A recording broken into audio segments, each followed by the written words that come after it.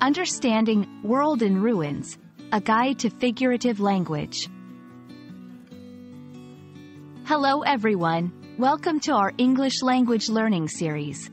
Today, we're going to explore a fascinating phrase, world in ruins.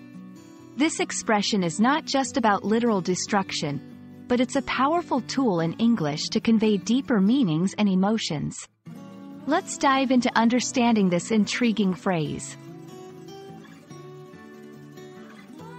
The phrase, world in ruins, literally refers to a scenario where the world, or a significant part of it, is in a state of complete destruction. This could be due to wars, natural disasters, or other catastrophic events.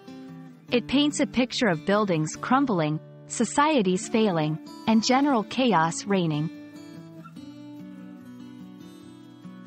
However, world in ruins is often used figuratively. In literature, films, and everyday language, it can describe situations that are chaotic or disastrous, even if there's no physical destruction. It might refer to economic collapse, moral degradation, or the breakdown of social order. This metaphorical use makes the phrase much more versatile and impactful in various contexts. Let's look at some examples where world in ruins is used. 1. Post-apocalyptic novels often depict a world in ruins to explore themes of survival and humanity. 2. In news media, the phrase might describe the aftermath of a significant event, like a financial crisis, conveying the severity of the situation.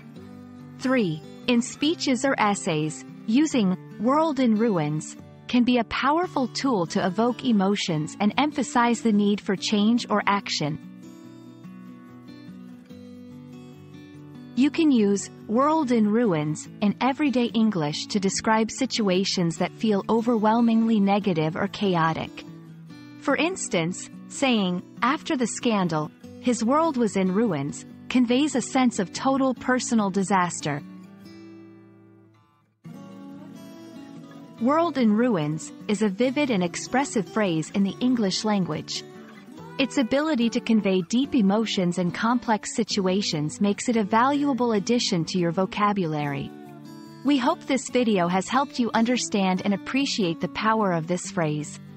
Keep exploring the beauty of English, and see you in our next video.